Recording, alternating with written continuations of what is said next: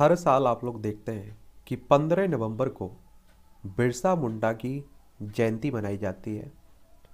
और आप लोगों ने इतिहास पढ़ा होगा।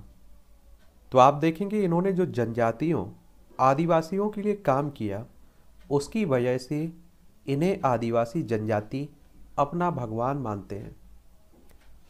और आप देखिए इस तरह का कोई महापुरुष रहा है और जिस राज्य से उसका संबंध रहा है, जिन आंदोलनों से उसका संबंध रहा है तो उसके बारे में एक सामान्य जानकारी आप लोग ज़रूर देख लिया करिएगा। और अगर आप लोग किसी एग्ज़ाम की तैयारी कर रहे हैं, तब आप देखते हैं कि इस तरह के क्वेश्चंस कई बार पूछ लिए जाते हैं। कुछ पिक्चर्स भी आप लोग देख रहे होंगे। और इनका संबंध आप देखेंगे, आज का जो झारखंड आप लोग देख रहे हैं ना, इसी से था। किससे? झारखंड से। और आप देखेंगे कि बिहार से अलग करके इन्हीं को एक तरह से सिद्धांजलि के रूप में आप कह सकते हैं कि सन 2000 में बिहार को, बिहार से अलग करके झारखंड को राज्य बनाया गया था। 15 नवंबर सन 2000 की बात है। यहाँ के वर्तमान में आप देखेंगे हेमंत सोरेन मुख्यमंत्री है, विधानसभा में इक्यासी सीटें हैं, राज्यसभा में छः सीटें हैं, लोकसभा में चौदह सीटें हैं। उन्यासी हज़ार सात सौ सोलह वर्ग किलोमीटर में आपका झारखंड फैला हुआ है। तो ये भी आप लोग याद रखिएगा। और अब हम लोग बात करते हैं कि भारतीय संसद द्वारा बिहार पुनर्गठन अधिनियम सन 2000 पारित होने के बाद वर्ष 2000 में बिहार से अलग करके झारखंड की स्थापना हुई थी।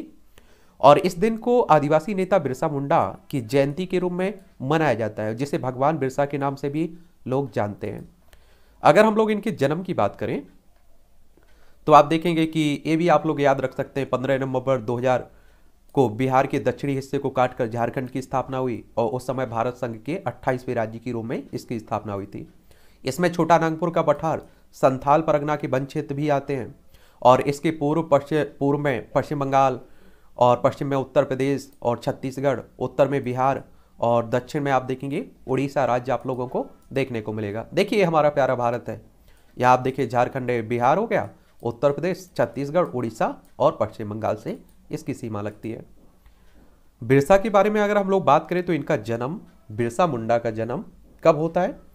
इनका जन्म 15 नवंबर 1875 में होता है। ओली हाथू लोहरदगा जिला बंगाल प्रेसिडेंसी, जो अब वर्तमान में खोटी जिला झारखंड में पड़ता है। वे मुंडा जनजाति के थे, और बिरसा का मानना था कि उन्होंने भगवान ने लोगों की भलाई और उनके दुख दूर करने के लिए भेजा है। किसे? बिरसा को। और इसलिए वे स्वयं को भगवान मानते थे, और उन्हें अक्सर धरती, अब्बा, यानी कि जगत पिता के रूप में जाना जाता है। 1899 से लेकर 19 सन 1900 में बिरसा मुंडा के नेतृत्व में हुआ। मुंडा विद्रोह छोटा नागपुर झारखंड के क्षेत्र में सर्वाधिक चर्चित रहा और इसे मुंडा उलगू लान विद्रोह भी कहा जाता है। और इस विद्रोह की शुरुआत मुंडा जनजाति की पारंपरिक व्यवस्था खोट कटी की जमींदारी व्यवस्था में परिवर्तन करने के कारण हुई थी। और इससे पहले आप देखिए, हमारे देश में महाराजा राजा रहे हैं, उन्होंने कभी भी जनजातीय क्षेत्रों में हस्तक्षेप नहीं किया। लेकिन अंग्रेज़ों ने आप देखिए, इनके क्षेत्र में भी हस्तक्षेप शुरू कर दिए। और इस विद्रोह में महिलाओं की भूमिका भी उल्लेखनीय रही। और उन्होंने जनता को जागृत किया और जमींदारों और अंग्रेज़ों के खिलाफ विद्रोह किया।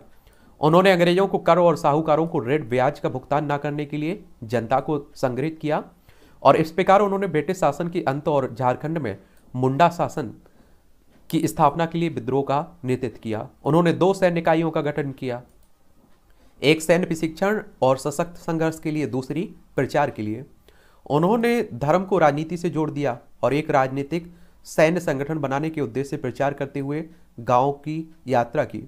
फरवरी सन 1900 में बिरसा मुंडा को सिंहभूम में गिरफ़्तार कर लिया और रांची जेल में डाल दिया, जहाँ आप देखेंगे 9 जून सन 1900 में उनकी मृत्यु हो गई।